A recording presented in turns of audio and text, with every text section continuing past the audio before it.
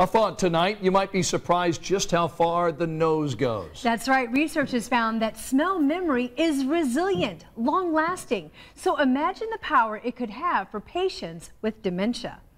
I'm 90 years old. Ask Donna Paget, and she knows exactly how many children she has. I have two girls and one boy.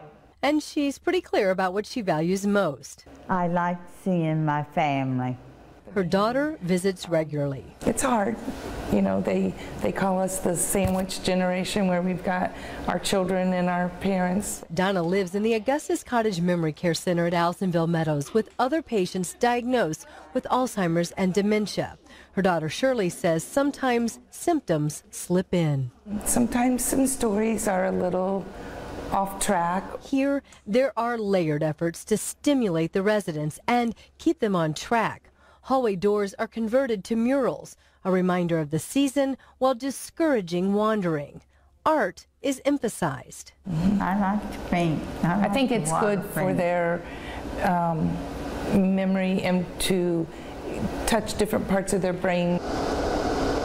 And something you might not expect, a scent machine used to trigger memory and stimulate hunger. On this day, it smells like chocolate chip cookies.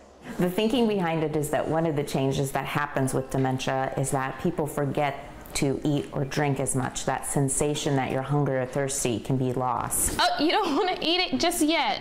A smell can also trigger a memory. I probably did make cookies. Bye. For Shirley, it's a comfort that efforts to unlock the past are ongoing and evolving.